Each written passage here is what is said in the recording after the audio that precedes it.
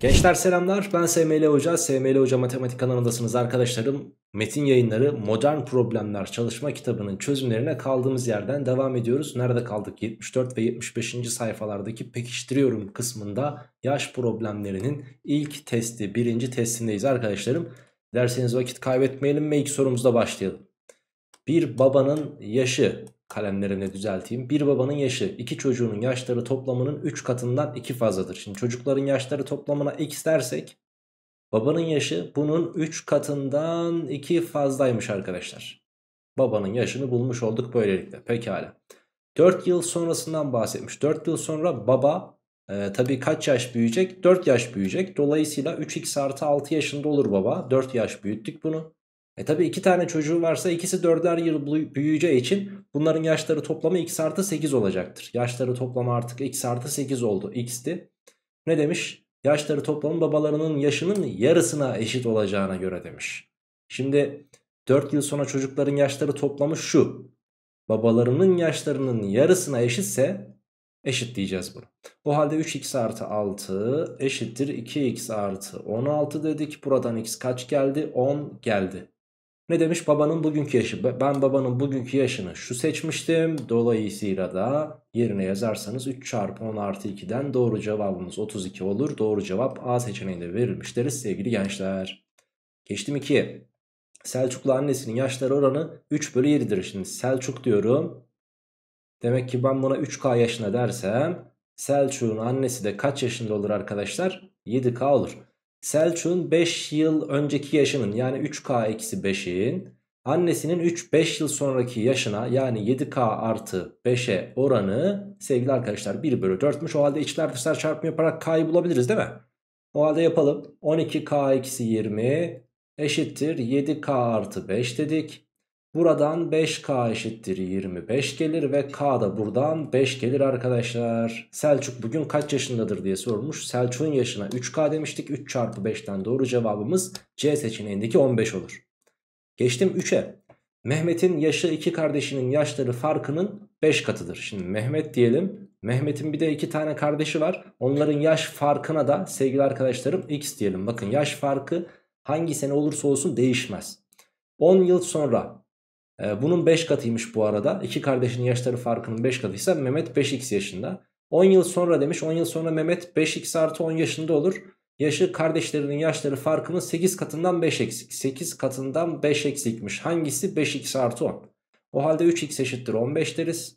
Buradan x kaç gelir arkadaşlar? 5 gelir. Mehmet bugün kaç yaşındadır diye sormuş. Mehmet'i 5x seçmiştik. x de 5 ise doğru cevabımız Denizli seçeneğindeki 25 olacaktı. Geçtim 4'e. Ali doğduğunda Doğan 11 yaşındaydı. Yani şimdi Ali var. Bakın bir Doğan var. Bir tane de Hakan var soruda. Onu da yazalım. Ali, Doğan, Hakan. Şimdi Ali doğduğunda Doğan 11 yaşındaysa demek ki Ali x yaşındaysa Doğan ondan 11 yaş büyük. Ve Hakan doğduğunda Ali 4 yaşındaydı. Yani sevgili arkadaşlar Ali Hakan'dan 4 yaş büyük. Yani Hakan'ın yaşı x eksi 4 olacaktır. Üçünün bugünkü yaşları toplamı da 34'müş. O zaman buradan tertemiz bir şekilde x'i bulabiliriz. Toplarsanız 3x bakın 11'den 4 çıktı 7 eşittir 34 dedik. Ve buradan sevgili arkadaşlarım 3x eşittir 27 geldi. Demek ki x kaçmış dedik 9'muş pekala. Ee, Doğan kaç yaşındadır? E, Doğan, e, Doğan hangisiydi? x artı 11'di değil mi? X'i de 9 bulduğumuza göre 9 artı 11 bize Doğan'ın yaşını yani E şıkkını verir diyebiliriz. Geçtim 5'e. 2020 yılında 2020 yılından bahsediyoruz bakın. Nihat'ın yaşı e, babasının yaşının 10 eksiğinin yarısına eşit. Şimdi Nihat diyorum ve babası diyorum. Babasına x yaşında dersek Nihat kaç yaşındaymış biliyor musunuz? E, 10 eksiğinin x eksi 10'un yarısına eşitmiş. Nihat x eksi 10 bölü 2 yaşındaymış. Buna göre hangi yılda babasının yaşı Nihat'ın yaşının 2 katı olur? Şimdi hangi yıl diyelim? Buna a ekleyelim o zaman tamam mı? Yani Nihat'ı A yıl sonrasına götürürsem artı A yaşında olur. Babası da X artı A yaşında olacaktır. Ve ne demiş? Hangi yılda babasının yaşı Nihat'ın yaşının iki katı olur? Yani o zaman sağdaki soldakinin hop iki katı olacak. 2 dağıtın bakalım içeriye. 2 içeri dağıtırsanız şuradaki 2 ile birbirlerini yerler. X eksi 10 kalır artı bir de 2A'mız var. Eşittir burası da ne olur arkadaşlar? X artı A gelir. Sanki böyle iki değişken varmış gibi gözümüz korksa da hiç korkmayın. Yazın gitsin yazar onu ayarlamıştır zaten. Bak burada x'ler gidiyor mis gibi. O halde A'yı bu tarafa onu bu tarafa atarsanız A kaç gelir? 10 gelir. Kaç yıl sonraymış? 10 yıl sonra. Peki ee, biz hangi yılı arıyoruz o, o zaman? 2020 yılında söz geçiyordu bu olanların. Kaç yıl sonra? 10 yıl sonra. 10 yıl sonra yıl kaç olur? 2030 olur. Cevabımız da bu şekilde C seçeneğinde verilmiştir deriz. Geçtim 6'ya. Gözlüklerim nasıl bu arada? A ve gözlük yani gözlükte daha net görüyorum. Lensler çok yoruyor ama yapacak da bir şey yok. Bazen gözlük kullanımı gerekiyor. AB, BA 2 basamaklı, AB, BA 4 basamaklı sayılar olmak üzere herhangi bir yıldaki tarih aşağıdaki gibi olduğunda bu yıla simetrik yıl denmektedir. Gün, ay, yıl biçiminde AB, BA, AB, BA biçiminde. Buna göre aşağıdakilerden hangisi simetrik bir yıldır denilmiş. Şimdi bir kere AB, BA biçiminde olacaksa ortadaki iki basamak aynı olacak. Yani mesela 1919 olmaz. 2000 olmaz çünkü baştakiyle sondaki aynı olacaktı. 2020 olmaz şununla şu şununla şu aynı olacaktı. Geriye tek seçenek Bursa ve Edirne kalıyor. Şimdi ikisi de olabilir gibi duruyor fakat 1991 1991 diye bir e, tarih bulamazsınız. Çünkü 91. ay diye bir ay yok arkadaşlar. Toplam 12 tane ayımız var zaten. Dolayısıyla B de gitti. Yalnız 21 12 2112 diye bir tarih olabilir. Biz ne kadar göremeyecek olsak da cevabımız Edirne seçeneğinde verilmiştir sevgili arkadaşlar. Geçtim bir sonraki e, sayfama 75. sayfam 7. soru. Aşağıdaki şekilde Alican'ın ailesine ait soy ağacı verilmiş. Bakın Alican anne baba babasının e, annesi ve babası babaannesi ve deden, dedesi annesinin annesi ve babası da anneannesi ve dedesi oluyor. Alican'ın ailesiyle ilgili şunlar bilinmekteymiş. Alican'ın anneannesi babaannesinden 3 yıl önce doğmuştur. Şimdi anneannesi o zaman e, x artı 3 yaşındaysa babaannesi x yaşındadır. Babaanne daha küçükmüş 3 yaş. Alican'ın annesiyle anneannesinin yaşları toplamı babasıyla babaannesinin yaşları toplamına eşitmiş. O zaman şöyle diyeceğim. Annesinin yaşı A ise babasının yaşı A artı 3 olmak zorundadır. Sebep çünkü x ile A artı 3 topla x artı 3 ile A'yı topla eşit geliyormuş. Dolayısıyla bunu bundan 3 yaş büyük seçeceğim. Buna göre Alican'ın annesi babasından kaç yaş küçüktür? E birini A ötekini A artı 3 seçtiğimize göre 3 yaş küçüktür diyebiliriz sevgili gençler. Geçtim 8. soruma. AB ve BA iki basamaklı sayılar olmak üzere Samet AB Cihan BA yaşındadır. Samet'in 4 yıl önceki yaşı. Samet'in 4 yıl önceki yaşı AB eksi 4'tür. Cihan'ın 1 yıl sonraki yaşına oranı. Cihan'ın 1 yıl sonraki yaşı da BA artı 1 olur.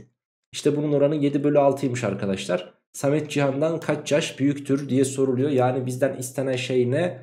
AB eksi BA bize soruluyor. Hatta bunu da çözümleyip yazarsanız 9A eksi 9B hatta 9 parantezinde A eksi B soruluyor diyeceğiz sevgili arkadaşlar. Bu bir. İkincisi önce şu sol kısmı bir çözümlerseniz 10A artı B eksi 4 bölü 10B artı A artı 1 dersiniz ve burada içler dışlar çarpımı yapacak olursak şöyle şeyler gelir bakın. 70B artı 7A artı 7 eşittir 60A artı 6B ve eksi 24 gelir. Bakın burada 7A'yı sağ tarafa alırsak 60'tan 7'yi çıkardığınız takdirde 53A gelir. Daha sonrasında 70B'yi de bunun yanına alırsak eksi 64B yapar. Eksi 24'ü sol tarafa aldığınız takdirde de 31'i yakalarsınız. Ve sevgili arkadaşlar A ile B'nin de birer rakam olduğunu unutmayacağız. Hocam bunun için bir çözüm metodu var mı diye soracak olursan da bunun için bir çözüm metodu yok. Bunu kendin yakalayacaksın. 53 ve 64'ten 31'i kendimiz yakalamamız gerekiyor. Ki bunların da rakam olduğunu lütfen unutmayın. A'yı 3 seçerseniz bu kısım 159 gelecektir. B'yi 2 seçerseniz burası da 128 gelecektir. Ve aralarındaki fark 31 olduğu için demek ki A3 B2 diyebiliriz. Şimdi A3 ise demek ki Samet'in yaşı 32 ve Diğerinin yaşı da 23 olur. İkisinin farkı sorulmuştu bize 9. Ya da siz ben şurayı sorulmuştu demiştim size. 9 çarpı 3 eksi 1'den 3 eksi 2'den cevap 9 kere 1 yani 9 olur diyebiliriz. Doğru cevabımız Bursa seçeneğinde verilmiş sevgili gençler. Ve devam 9. soru. 3 kardeşin yaşlarıyla ilgili üçünün de yaşlarının bir basamaklı asal sayılar olduğu bilindiğine göre her bir kardeşin yaşlarının doğru bulunabilmesi için şimdi şurada güzel bir e, anahtar kelime var. Her biri de bir basamaklı asallar. Yani 2, 3, 5 ve 7 4 tane bir basamaklı asalımız var. 3 kardeşimiz var ve 3 kardeş yaşları sevgili arkadaşlarım bunlardan 3'ü. Pekala. Bu bilgilerden en az hangilerinin bilinmesi gerekir demiş. Tüm kardeşlerin yaşlarını doğru tahmin edebilmek için. Şimdi yaşları toplamı çift sayıdır demiş. Yaşları toplamı çift sayıysa ben ikisini tek bir tanesini 2 seçebilirim. 2 sonuçta tek çift olan sayımız asal sayımız. İkisini tek birini çift seçebilirim. Ee, hadi birisini doğru tahmin ettik. Diğer ikisini nasıl tahmin edeceğiz? Yani kesin olarak bilemeyiz arkadaşlar. Dolayısıyla birinci öncül cortladı. Birinci öncül gitti. Yaşları toplamı tek sayıdır diyorsa yaşlarının toplamının tek olabilmesi için 3 tane kişinin yaşları toplamının tabii ki hepsinin tek olması lazım. Şimdi 2, 3, 5, 7'nin arasından ben desem ki 3'ü de tek olacak bunları seç. E sen sadece 3'ü 5'i 7'yi seçersin. 2'yi seçemezsin 2 çift çünkü. Dolayısıyla eğer bu böyle bir bilgi verilirse yaşları toplamı tek sayıdır denilirse ben bu kardeşlerin yaşlarının hepsini ayrı ayrı bulabilirim. En büyük kardeşin yaşı 7'dir derse ortanca ve küçük kardeşin bunlardan hangi ikisi olduğunu bilemeyiz. Dolayısıyla cevabımız B seçeneğinde verilmiş deriz. Ve son sorumuz 10. soru. Şu kısmı sileceğim arkadaşlar. Ayşe, Beril ve Cansu yani A, B ve C isimli 3 kardeşler Ayşe'nin bugünkü yaşı Beril ve Cansu'nun bugünkü yaşları toplamına eşittir denilmiş. Şimdi şu ikisinin yaşları toplamı şuna eşit oluyor arkadaşlar. Ben bunlara e, Ayşe'nin yaşına x diyerek başlamak istiyorum. Şu ikisinin toplam yaşının da x olduğunu söyleyebiliriz. Pekala. Beril ve Cansu'nun yaşları farkı Ayşe ve Beril'in yaşları farkının iki katına eşitmiş. Şimdi şöyle diyelim x, y, z diyelim biz buraya. Y ile z'nin toplamının x olması gerektiğini lütfen unutmayalım. Burada demiş ki Beril ve Cansu'nun ha Beril ve Cansu'nun yaşları farkı hatta ve hatta hiç uğraşmayalım. X'leri, Y'leri, Z'leri boş verin. Kafamız karışmasın. Bunun yaşına A, bunun yaşına B, bunun yaşına C diyelim direkt. Olmaz mı? Şimdi bakın dikkatli dinliyorsunuz. A eşittir B artı C'ydi. Bu cepte zaten. Daha sonrasında demiş ki bize Beril ve Cansu'nun yaşları farkı. Beril ile Cansu'nun yaşları farkı ya B eksi C'dir ya da C eksi B'dir. Ya bu ya da bu. Pekala Ayşe ve Beril'in yaşları farkının iki katına eşitmiş. Ayşe ile Beril'in yaşları farkı A eksi B. Burada büyük olan Ayşe olduğu için bunu A eksi B yazabilirim. Ve arkadaşım şunun bakın Ayşe ile Beril'in yaşları farkının iki katı ya buna eşitmiş ya da buna eşitmiş. Kardeşlerden en büyüğü Ayşe en küçüğü Cansu'dur. En küçüğü Cansu ise ben şuna eşitleyeceğim çünkü Cansu küçük olanmış. Yani arkadaşlar B eksi C neymiş? 2A eksi 2B'ymiş. Pekala o zaman eksi 2B'yi bu tarafa atarsanız 3B e, eksi C eşittir 2A olduğunu söyleyebiliriz. Bu 3 kardeşin bugünkü yaşları toplamı 48'miş. Yani şunların toplamı neymiş arkadaşlar? 48. Yalnız şuraya dikkat edin. Ayşe'nin bugünkü yaşı Beril ve Cansu'nun bugünkü yaşları toplamına eşittir. Yani B artı C aslında A'ydı. 2A eşittir 48 ise A kesinlikle ama kesinlikle 24'tür. Bunu unutmayın. B artı C'nin de 24 olması gerektiğini tabii ki söyleyebiliriz.